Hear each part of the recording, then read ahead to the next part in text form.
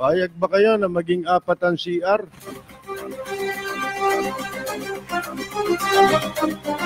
Pang LGBT.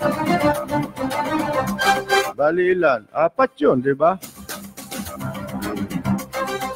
Kasi ilangan naman yung ah, tomboy tsaka yung bakla magsama sa isang CR. Alahin yung katarant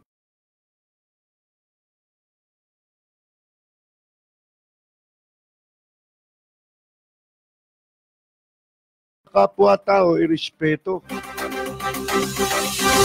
Yan ang nakasasama sa batas. Yung sobra-sobrang batas. Para lang makakuha ng boto, ng simpatya. Hindi na natin alam minsan, pati ang ah, ano ho, karunungan ng Diyos eh pinakikialaman na natin. Dahil lang sa isang bakla na ika nga po mga kaibigan ay pinalabas sa CR, di ba? Sa isang mall, dyan sa Fisher Mall. Sa lungsod ni Joy to the world.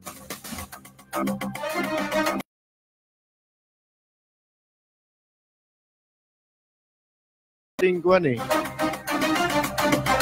mga hindi na makatarungan at makatotohanang batas. Kung tutuusin ninyo, sabi nga natin yung Amsterdam, di ba? Napakagandang bansa. Walang kriminal.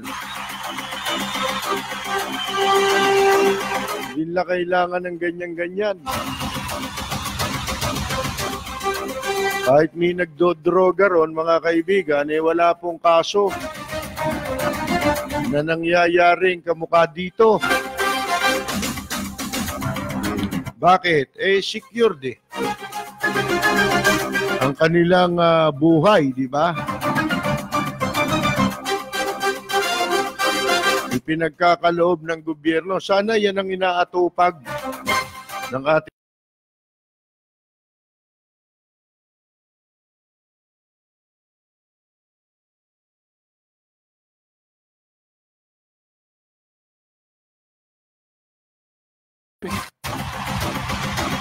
Mantakin ninyo. Lahat ng kalokohan dito, sinisensationalize. Wala na kasing maibalita. Pero maganda na rin yan at mapag-usapan natin. Masikipan natin ang tornilyo ng mga maluluwag na tornilyo. Itong programa natin, pwedeng yabi tubo ito eh. Pansikip ng tornilyo sa mga maluluwag na. O kaya eh ano welding. Pang welding din tayo eh. Yung mga nalalagot na utak sa ulo, di ba? O ugat. Mga nalalagutan ng ugat sa ulo. Weldingin natin. Sipin ninyong kalokohan yan. Dahil lang dyan eh, iimbento na raw ng CR itong sila Bilyar. Kung sino-sino pa, lalo si Risa. Paing kita dyan eh. May pa privilege, privilege speech pa eh. Gusto lang maging dakila eh. Yan ang ano, pansinin ninyo. Kung sisimpatya ka dyan, sa unang tingin mo, eh, kala mo, banal na banal si Risa Ontiveros, eh, di ba? May privilege speech pa, eh, para sa mga LGBT. Irespeto raw, eh. Ba't sino ba bumabastos? Sa tuwing may mag-aaway ba, respeto ba ang issue?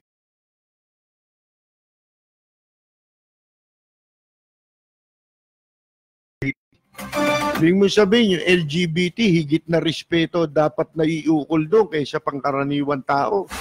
Mga gago. Kailan ba matatapos ang term nitong si Risa Ontiveros? Inip na inip na ako ah.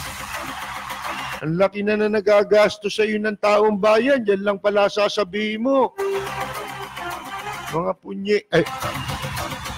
Teka, sumobra yata tayo, Brad.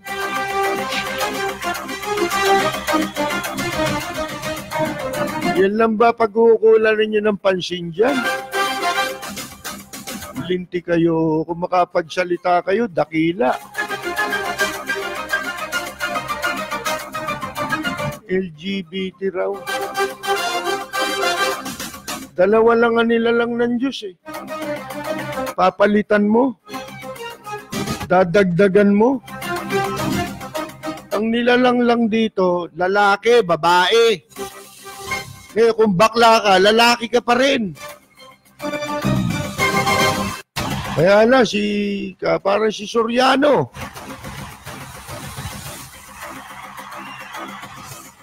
Ano-ano ginagawa mo? Nangiiniksyon ka sa puwet. Iniksyon sa puwet, di ba? Minsan sa braso. Ito may ibang iniksyon naman ito. Lintik tong mga taong ito, mga kaibigan. Anong kalechihan yan? Yan lang ba babayaran ng taong bayan sa inyo? Lumayas-layas na kayo. Maraming may kakayahan dito. Eh ako lang eh, kundi lang wala lang tayong programa, di ko bandidato rin ako. Ang problema natin, wala magbo-broadcast dito eh. Sipo, lahat kami senador.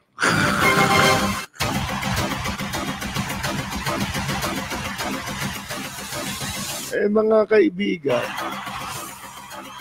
yung babae, yung tomboy, babae yun. Nagpapanggap lang na lalaki yun. Diba si Aisha Sigera may sinasabi rin. Pag napapahiya siya, hindi niya alam anong CR ang ano. Eh, tanga ka. Bakit? Ano ba yung iyo? Alam nga naman doon ka sa ihian ng lalaki pumunta. Di nabasa yung paa mo. Di ba? Sana kung may alipunga ka. Kasabihan nung araw, pag may alipunga ka, ihian mo yung paa mo eh. Para gumaling. Lintik na buhay ito, mga kay mga pangahas ng mga taong ito. Makapagbanal-banalan lang. Alam mo, it's about time ha, na tigilan na natin yung mga mapunyatehan na yan ha. Mga kalechihang yan. Kung bakla ka, lalaki ka. Eh, nagpa-opera ka. Eh, kisihoda ka. Nagpa-opera ka eh. Bakit? Naging babae ka ba nung nagpa-opera ka? Hindi. Pinalitan mo lang. Nagkaroon ka ng butas. Di ba? Pero ano, ibig ba sabihin no, umibutas ka eh, babae ka na? Lalaki ka pa rin, oy. Meron nga no, di ba, yung sports kwan? Uh, sino ba yon yung nagpapanggap na lalaki, babae pala yun. Ano? Papanggap na, ano ba yun? Taging taga Pangasinan. sumali siya sa mga paligsahan ng babae kasi may parang ano, may mukha siyang babae. Pero lalaki pala, ang damuho, di ba? Alam nyo, yung pakikialam na yan sa gender, yan ayaw na ayaw nang itaas yan. Sipin mo, gagawin mong apat, pahirapan mo pa lahat.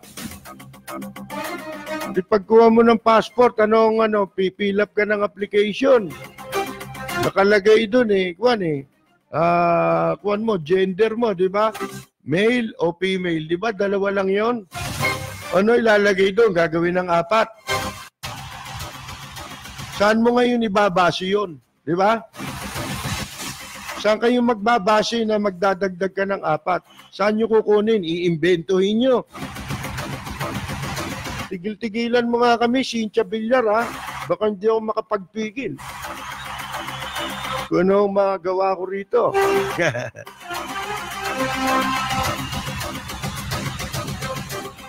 Bali ba, yung pag-ihi na yan, o pagpunta-punta sa CR na yan,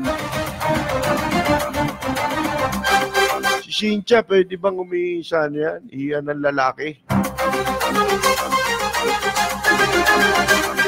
Baka magulat yung tao, Huy!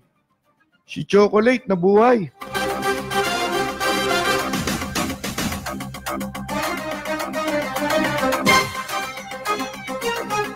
Nako mga kaibigan, oo. Lahat ng klasing mga pagpapanggap sa wala nang katapusan nito, puro pagpapanggap na lang. Para makakuha lang ng atensyon, masabing meron silang uh, adhikain na ika nga ipinopromote, pinoprotektahan. Animal kayo.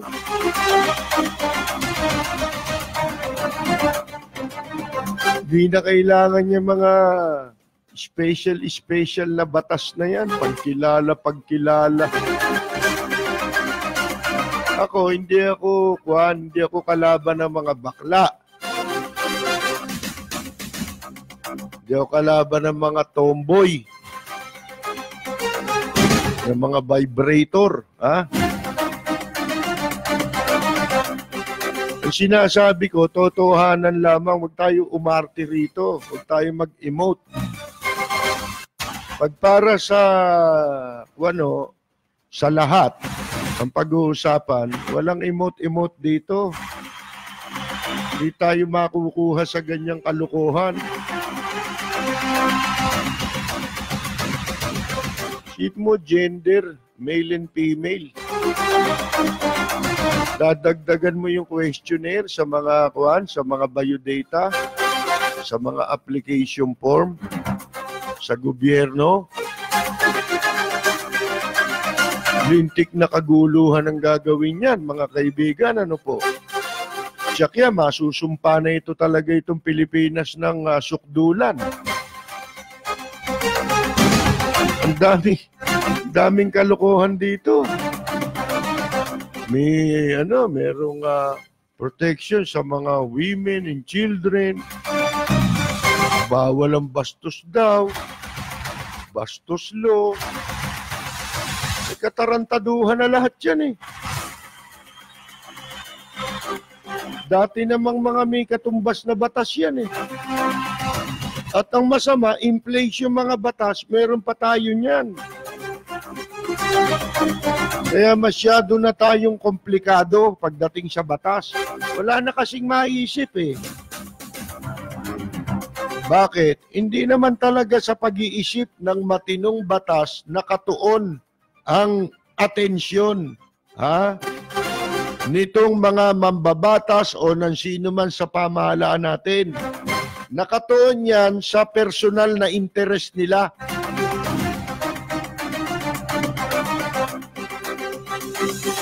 Sa ayaw at sa gusto natin, mga kaibigan, yun ang katotohanan eh. Nakikita na ninyo eh.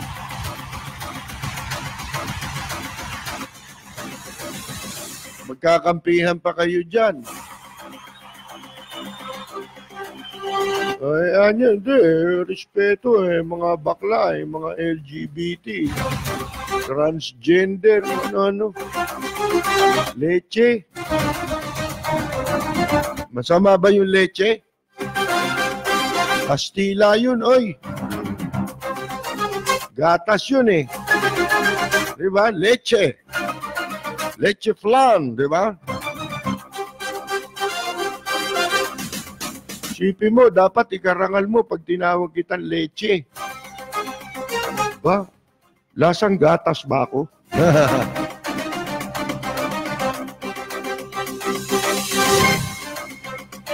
Alahin ninyo mga kaibigan, oh.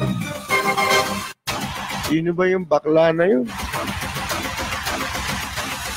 Siya pa galit eh.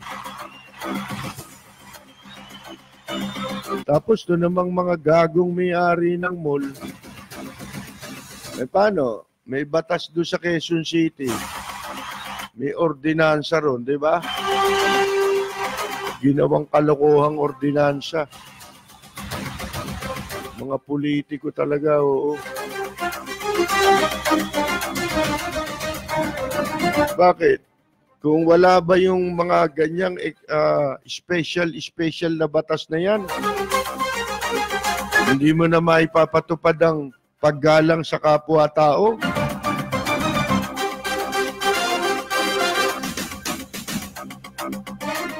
Parang itong mga komunista, di ba? Kung ipakilala nila sarili nila, sila mga makabayan. Makabayan black daw doon sa kamera. Mga makabayad naman. Hindi ka ba pwede maging makabayan nang hindi ka komunista? Yun ang ibig nila sabihin eh, mga gago eh. Alam mo yan, pag makabayan, inaangkin yan eh. Kala mo, pra- private property nila yung pagiging makabayan eh. Hindi ma, makabayan ha, para lang yan sa kwan ha. Sa mga kaliwa. Utot nyo. Makabayan. Nasaan ang pork barrel nyo? Saan nyo dinala? Makabayan. O, di ba? Ganun din yan, ha? Di ba? Kaya ho, mga kaibigan, ginulo-gulo yung batas, eh. Eh, demokrat, ano nga tayo, eh. Ah, itong bansa nating ito, hindi tayo sanay dyan sa kumukomunista. Alam na natin ang ibinungan niya sa atin, di ba? Kasi yung mga yan, una, magiging makabayan daw sila.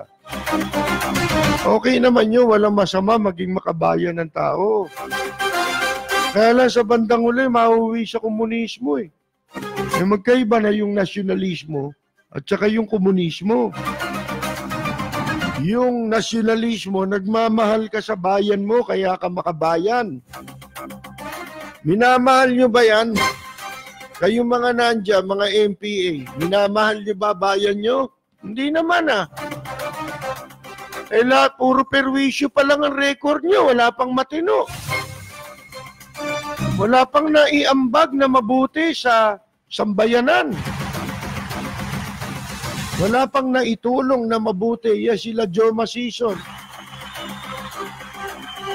Ang sasarap ng buhay. Ito si Risa, nagpapanggap din na ano to eh. Makabayan eh. Mga kaibigan, oh.